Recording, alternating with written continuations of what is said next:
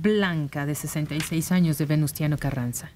Es muy molesto escuchar que la señora Catalina se exprese tan mal del PRI, cuando ellos también han hecho muchas cosas de las que otros que llegan nada más se cuelgan. Tampoco es agradable oír cómo se expresan de la gente que se suicida o tienen algún conflicto grave. Solo Dios puede juzgar. Saludos a todos. ¿Qué está haciendo usted con nosotros? Porque ¿cómo vamos a cambiar procedimientos que se vuelven casi casi ley por costumbre? Pero eh, yo, yo siento que eh, nuestra amiga no, no, no está siendo justa. Catalina solo ataca a personas y a hechos concretos y a irregularidades conocidas. Ella no llega y dice, el PRI es tal, tal y tal cosa. ¿Por qué? Porque a qué PRI se refiere, o el PRI en dónde, en qué época. No, ella dice, fulano de tal se robó todo el dinero del erario y no dejó, dejó vacía las arcas y ahora está, eh, lo están cazando. Eso es lo que ella dice, eso no es atacar al PRI. En cuanto a la descripción de un hecho cuya información nos está llegando, pues yo quisiera que se parara un día en la Cruz Roja para ver todo lo que ocurre y ahí sí para que veas, a sufrir, porque la vida es terriblemente cruel en cuanto a accidentes y agresiones personales. Y pues el suicida, eh, lamentablemente, eh, muchas veces no piensa en lo que deja, en los efectos que causa en su familia, en su entorno, en las gentes que dependen de él, en el muchas veces se suicida después de cometer un crimen. Entonces, ¿cómo puede ser uno eh, pues, o, sea, más bien tolerante con, con un suicida de este tipo. Y aquí, perdón, y aquí mismo hemos mostrado diferentes posiciones con respecto a los suicidios, ¿no? Muchos dicen que es un acto cobarde, otros que no, que es tu decisión al fin y al cabo y que también hasta para quitarte la vida necesitas cierto valor. Entonces no se ha dado una sola eh, posición, una sola opinión sobre ese tipo de actos. Aquí se ha visto que tenemos variedad de pensamientos y digo, usted se queda con el que cree que escuchó, pero la verdad es que aquí muchos pensamos muy diferentes sobre lo mismo. El suicidio además puede tener muchos significados, depende de las circunstancias que lo rodeen. No es lo mismo quien se suicida después de cometer un delito a quien se envuelve en la bandera nacional y se tira de la torre del castillo de Chapultepec. Tiene dos significados muy distintos. No es que uno critique a todos los suicidas, pero sí a los que se realicen cierta connotación de tipo criminal, pues entonces sí. ¿Sabes cuál es, cuál es el suicidio más difundido una vez que ocurre? Supongo que el de Adolfo Hitler, ¿no? No, aquí en México. Ah, porque ya hemos ah, tenido. ¿El de Digna Ochoa? No. ¿El de Miroslava? No. El del Bonzo. Tipo Bonzo, estilo ah. Bonzo. Que ya tuvimos aquí un campesino veracruzano. que en protesta porque daba vueltas y vueltas y vueltas y no le hacían caso ni le llegaba la justicia, vámonos. El problema es que él se murió y la justicia de todas maneras no llegó. Diferente. Pero imagínate qué, qué impresión a quienes nos enteramos y sobre todo a quienes lo manejamos como información. El pensar que un hombre muera entre las llamas. Y que alguien esté observando. No, no, no, debe ser un, un espectáculo dantesco. Recibimos ahora a Catalina. Adelante, Catalina Noriega. ¿Qué tal, mi querido Héctor? Muy buenos días para todos. Pues mi querido Héctor, indudablemente nadie es monedita de oro. El día de ayer una persona del público me acusó de estar del lado del PRI. Hoy, mi querido Héctor, otra persona me acusa de estar en contra del PRI. Pues mi querido Héctor, que hablé que nadie entendió, pero, pero, acá seguimos en esta demencia y en este canibalismo desatado en acción nacional. Mi querido Héctor, la señora Zavala no se dio ni un minuto el mero domingo, día electorero, para poner como lazo de cochino al actual presidente de su partido, Ricardito Anaya.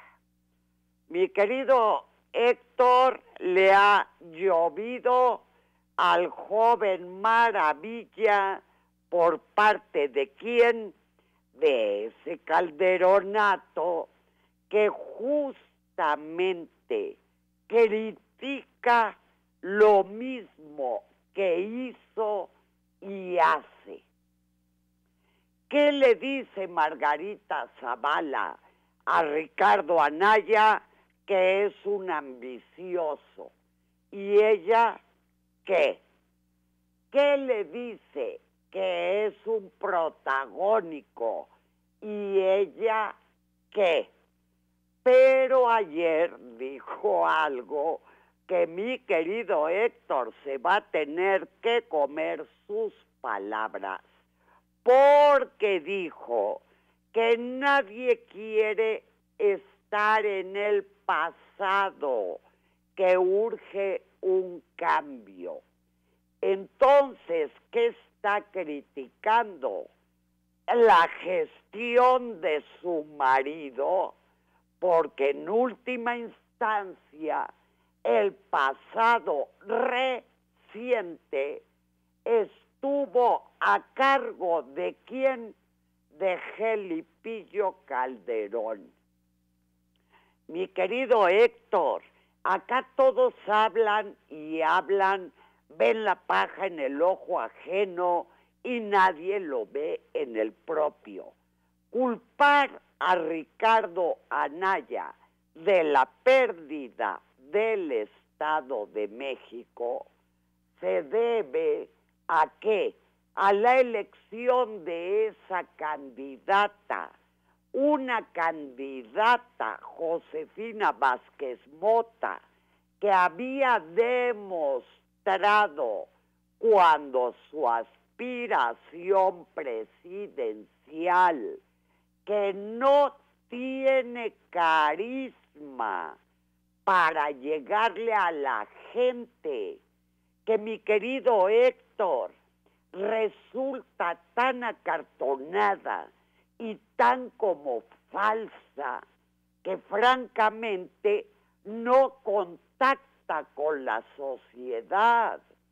Lo sabían y sin embargo Ahí volvieron con Josefina. ¿Qué le está echando en cara la Zavala a Ricardo Anaya? Que no apoyó suficiente a Josefina, pues habría que recordarle que el caldero nato dejó sola a Josefina en aquella aspiración presidencial. Mi querido Héctor, si como sociedad somos bastante desmemoriados como políticos, pues parece que tienen amnesia. Ahí están en Morena, venga a criticar que el señor del mazo es el heredero del trono ¿Por qué?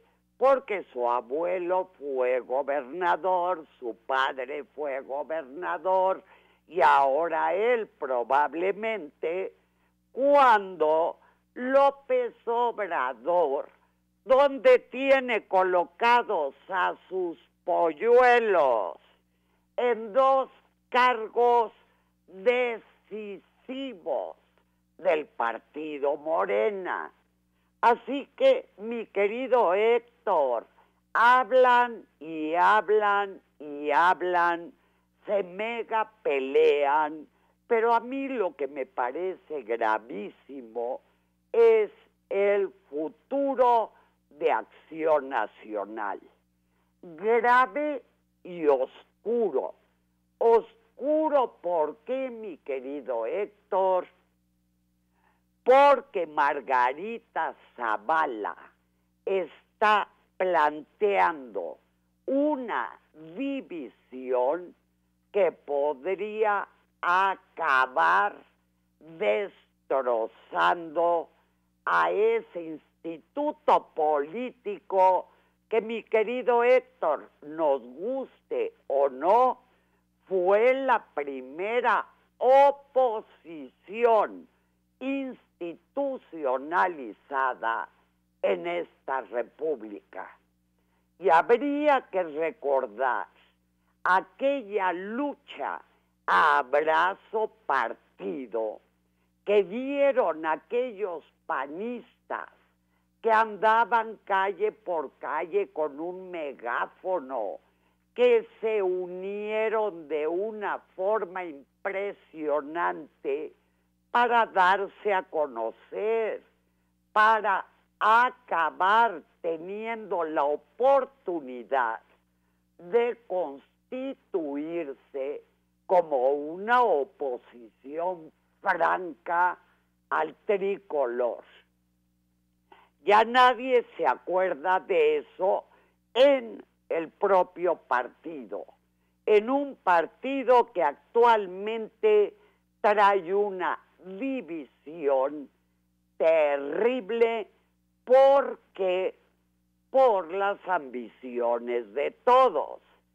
Yo veía el día de ayer al señor Moreno Valle, ex desgobernador del estado de Puebla, relamiéndose los bigotes, observando el pleito de Margarita contra Anaya.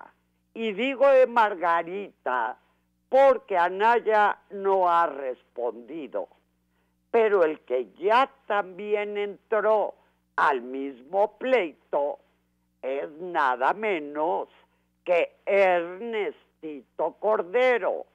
Ernestito Cordero, ese senador, mi querido Héctor, que es hijo predilecto del matrimonio Calderón, que fue también precandidato presidencial y que se quedó en agua de borrajas por las estupideces que decía, como aquello, mi querido Héctor, de que con seis mil pesos se podía tener, madre de Dios, hasta alberca, casi, casi en tu hogar.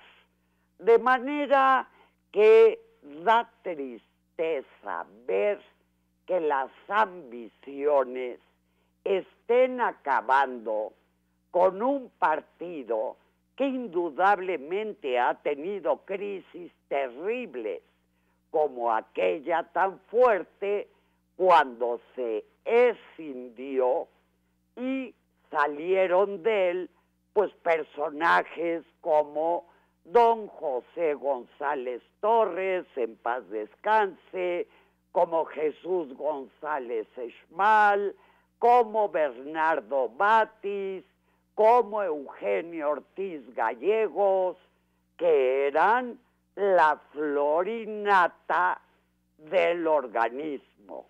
Pero ¿qué me dices de los dos panistas que llegaron a la presidencia de la República? Eso sí que dejaron al partido para arrastre. Tal cual, mi querido Héctor, porque yo te voy a decir y siempre se lo echaré en cara a Vicente Fox. ¿Qué hizo Vicente Fox? Convertirse en una minicopia de un priista. ¿Qué hizo Calderón? Exactamente lo mismo. ¿Cuál fue el problema? Que hubo alternancia, pero no cambio. ¿Y qué queríamos los mexicanos? ¿Y qué esperanza teníamos que en verdad hubiera un cambio? Ninguno de los dos fue capaz de dar ese, este, cambiar, modificar este sistema que venimos arrastrando desde hace cuantas décadas y que es en última instancia el que ha impedido que en este país exista una auténtica democracia. Ahora con la eleccionitis, la palabra democracia va y viene, mi querido Héctor. Pero la democracia no son solo las elecciones. La democracia es una correcta impartición de justicia, un Estado de derecho que parece que en esta república es inexistente.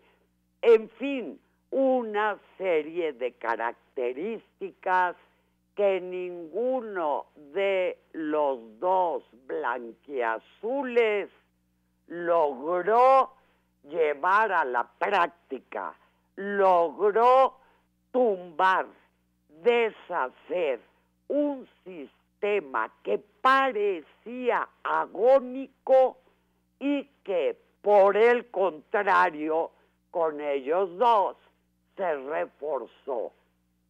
Así que, por lo pronto, mi querido Héctor, si Acción Nacional continúa por este camino del divisionismo interno, de una pugna tan pública como la está haciendo Margarita Zavala, pues lo único que se le puede augurar para el 2018 es que en lugar de en el cuarto lugar, se vaya al quinto.